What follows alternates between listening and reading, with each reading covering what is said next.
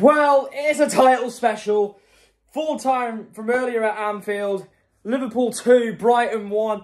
And just full time now from the Etihad.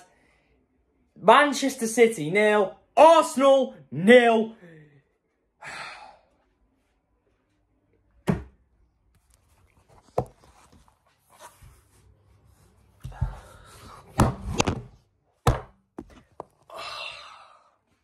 Yeah, I'm gonna get straight into it.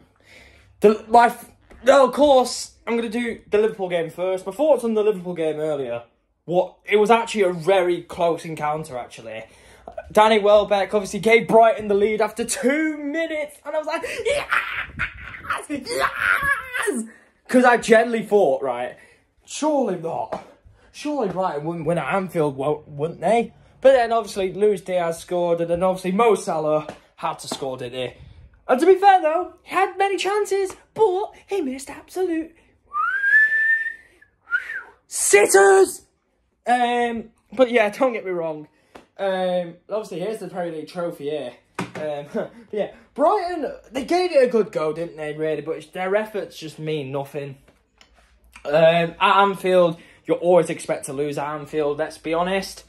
Um, I generally feel like Liverpool are the favourites for the title now because I just can't see him losing a game. I just can't see him losing, losing a game. Um, honestly, that was so boring. No, no. And I can tell, I can tell why. Like they they're actually going for the title because it's going to be Klopp because it's Klopp's farewell tour. Oh, Klopp's farewell tour. Shut up, absolute shut up. We won't hear the end of we won't we will not hear the end of Scousers saying, "Oh, we won the league, we won the league, have it, City." Shh. Oh my god, honestly, honestly, you're more worse than Arsenal fans. Bunch of cock cockiness, cockiness watch you Liverpool, right? Knowing them, they'll go and beat Brighton at home, but they'll but they'll probably lose lose four three no four three to United again, like they did in the FA Cup like three three four weeks ago, four weeks ago. It's a joke. It's a joke. Um, but Brighton, for their quest for European place, takes an even more damaging blow after a defeat at Anfield. Um, yeah, um, obviously, don't get me wrong. I feel like Brighton, without their injuries they've had this season, I feel like Brighton would be near a European place. Like Mitoma, Matoma's been out for ages. Uh, Danny Welbeck, no, João Pedro, uh, particularly that Estupiñán as well. Um, and Julio, Julio, uh, Julio Enciso, Enciso as well. Um, I thought he would have been. I thought he would have been um, really good today. I thought. I thought like players like them could come back and put Brighton back in a European place again, like they did, like they were last year.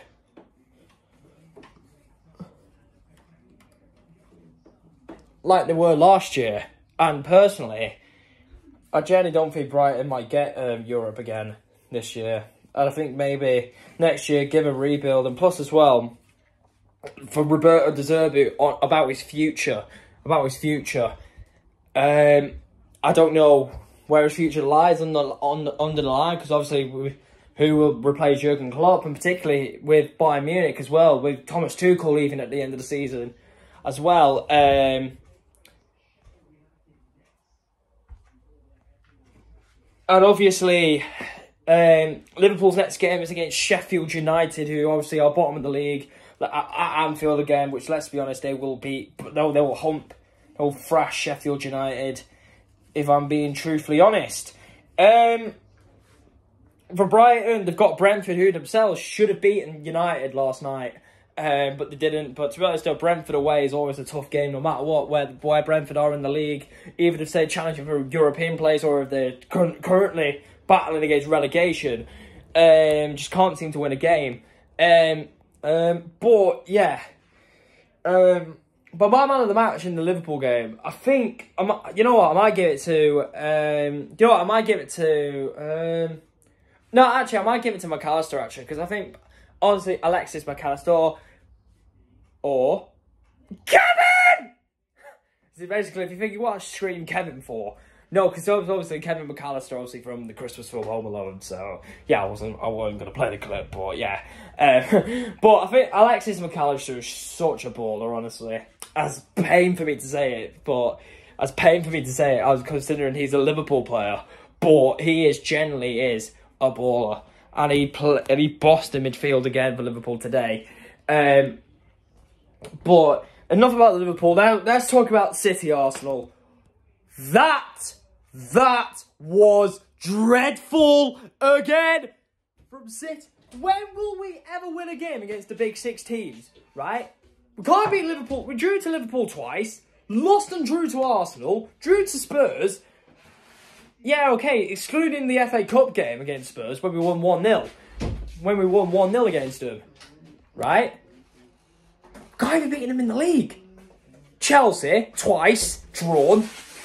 The only team we can beat is obviously United, because obviously United are easy. Of course, it's the derby, which United are never going to beat us again, ever again. I'm joking, I'm joking.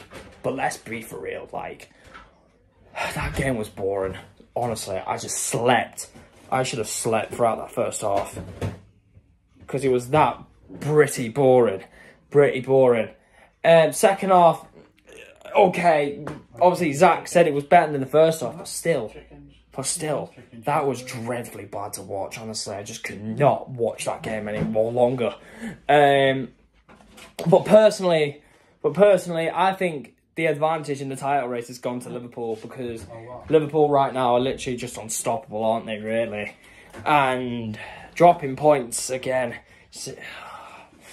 That's that's been the consistent theme with City all season, just dropping points again when we need to. Like, so like United, so like United, not United. So Chelsea twice dropped points. Spurs at home dropped points. Villa lost, lost dropped points. Liverpool at Anfield, no Liverpool at the Etihad and at Anfield dropped points, and now we've dropped points. Now we've dropped points again today. Uh, for City's sake, it is two points dropped. But for Arsenal's sake, it's a point gained, actually, because Arsenal, they were just playing for the draw, weren't they, really? Saying that, though, they had chances of their own, Arsenal, but just could not score. Uh, but yeah, my man of the match. Sky Sports did give it to William Saliba, and to be fair, I might give it to Odegaard, because I think he was literally the only player that actually tried um, and actually cared about the game. Uh, because no one just we were all playing like two year old children in a nursery school, playing with Play Doh, playing with clay, bloody playing with um Dis- Disney figure Disney figurines.